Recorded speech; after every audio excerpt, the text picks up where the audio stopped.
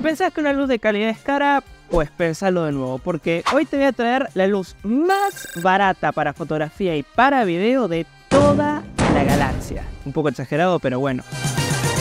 Bueno, esta luz no tiene nombre, ¿ok?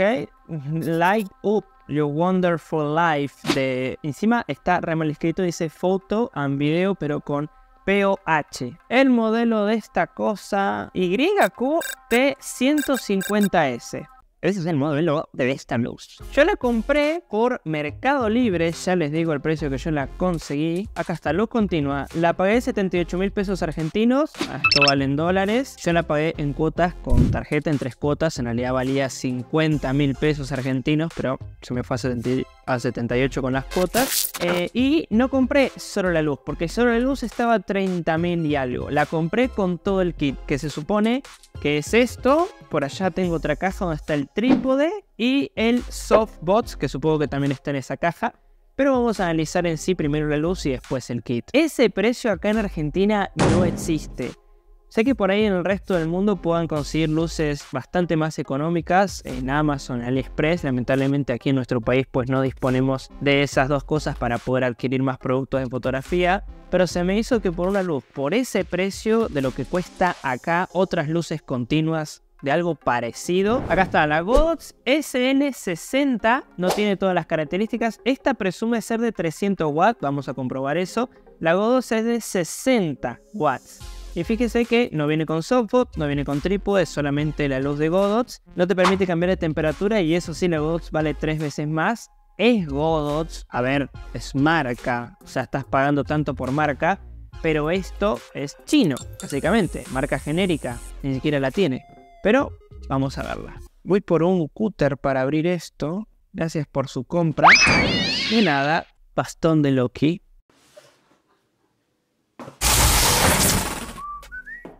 Bueno, viene entonces así la luz con su respectivo cable, ¿ok? De alimentación. Y...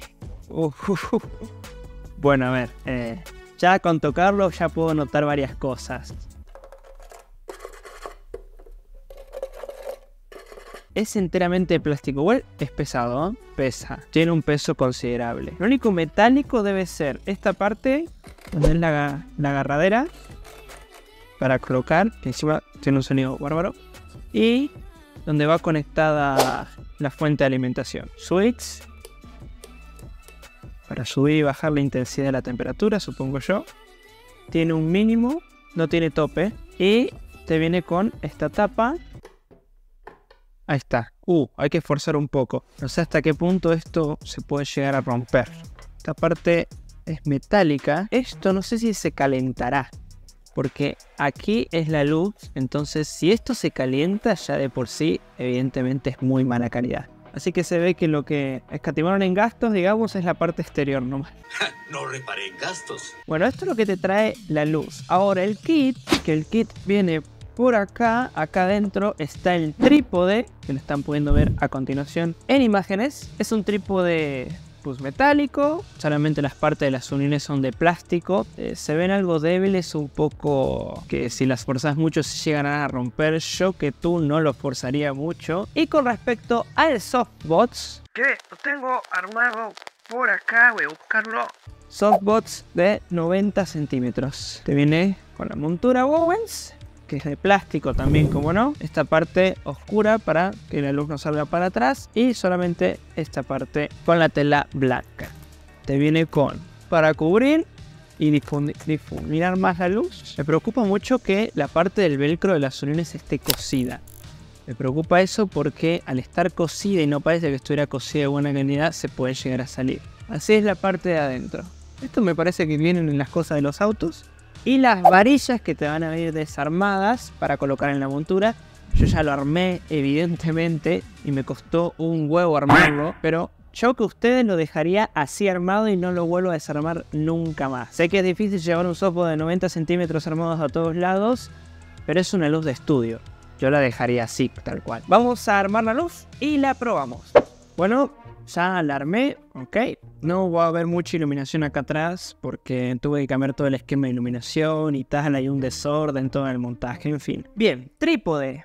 Eh, yo mido 1,60, bueno, 1,62, 1,65 y ni siquiera está al límite. Perdónenme si no está enfocado. Ni siquiera está al límite. Aquí tiene una perilla. Puede continuar subiendo. Ah, no sé bien cuánto exactamente. ¿Ok? Pero seguro que a 2 metros llega. Eso seguro. Y bueno, aquí está nuestra lucecita armada. Am, esta es así. La coloqué en el mismo lugar donde tenía la otra luz, que la otra luz después les explico cuál era. Está al 50%, ¿ok? Lo tengo acá en esta dirección, me está apuntando todo. Bueno, por ahí lo podría correr un poquito más. Control remoto. Estos son los settings que tengo ahora en mi cámara, el ISO, la velocidad de obturación y la apertura para que vean que eso también influye. La idea de esto es que yo voy a aumentarle la, la temperatura, aumentarle la potencia a la luz y ver hasta cuánto podemos llegar. Así que bueno, vamos a aumentar. Eh, tenemos ahora, así está el 50%. Esto no sé cuánto es porque no puedo ver la pantalla. Le voy a dar hasta donde dé. Vale, ahí tiene que ser el 100% porque ya no me deja subir más. Bueno, así se ve la luz al 100%. ¿Sí? Así se ve. ¿Ok? Comparándola, esto es al 100%. Ojo con el softbox. Es para difuminar. La otra luz que yo tenía no tenía un softbox. ¿Ok? Así que lo que vamos a hacer ahora es voy a bajarle el ISO. Pues la velocidad de obturación y la apertura la voy a dejar como está. Voy a bajarle el ISO para que ustedes vean eh, en qué punto más o menos lo podemos manejar y que la luz pues nos siga alumbrando bien, ¿ok? Aquí está el switch. Encendemos. Bien, aquí tiene el switch para encender. Está al 40%, la pantallita nos dice ahí, está a 29 grados Kelvin. Enfocar un poco más. Ahí está. Subimos. 100% la luz. Y oprimiendo, cambiamos la temperatura. ¿Sí? 3200 grados Kelvin mínimo. Ah. 5500 grados Kelvin máximo. Batería. Esto no lleva batería. Va conectado cable. ¿Ok? Se ve que... No sé por qué te dice eso. Y abajo te dice la temperatura de la luz. ISO 200. Eso es ISO 200. Ya veo que está oscuro, así que creo que a más de esto bajar no lo puedo bajar. Pero esto es en ISO 200 al 100% de potencia. Bien, ISO 400 tengo esta potencia. Puedo ajustar la velocidad de obturación, no, la apertura puedo ajustar. Apertura 8. Creo que estoy bien expuesto. Me veo todavía un poquito acá. Vale, apertura 10. Con la luz al 100%, así se ve. Voy a volver a los settings anteriores. Estos son los settings que tenía al principio del video. Así se ve esta luz al 100% con los mismos settings, la misma iluminación y así se veía antes, ¿ok? Si era antes, así es ahora. Antes tenía un foco, que es el que tengo aquí alumbrando el fondo de color azul, ni siquiera sé si se notará. El foco que tengo acá, que era el que me estaba alumbrando en la escena anterior, es un foco de 35 watts, que vale 5600 en Mercado Libre. Yo lo conseguí 4800 en una ferretería local, sin difusor, ¿ok? Era solo el foco apuntándome en la misma posición que está la luz. Y así se veía una iluminación de 5600 pesos más o menos, y así se ve una iluminación de 78 mil pesos argentinos, que fue lo que yo la pagué. Juzguen ustedes si les gusta y si no les gusta. Te viene con su control remoto. On, off. Esto es para... Esto no es para apagar la luz. Esto, si yo lo oprimo, es para ponerla en estado de suspensión. Subir, bajar, potencia. Con esto cambio los grados Kelvin. Y bueno, pero te viene con un control remoto. Ahora lo vamos a probar una prueba más. Voy a sacar el difusor, ¿ok? El softbox. No voy a sacar el softbox. Voy a sacar el, la pantalla, no sé cómo se llama, la tela que difumina. Voy a sacarla. Ok, tela afuera. Oh, oh, oh, oh, menuda luz dura. Bueno, así se ve. Al 100% luz completamente dura sin difusor. Vamos a probar ahora los efectos. Tenemos este. Este de respiración. Si esto fuera RGB, ¿sabéis lo que sería? Está como respirando. Ah, esto lo podemos combinar si fuera... École, si fuera naranja. Estoy bronceándome, carnecita asada. Todo se me ocurre un buen efecto como si fuera una fogata. Y el policía. Miren, la luz es bastante buena. Eh, no creo yo que tenga 300 watts de potencia. Por ahí debe tener unos 100.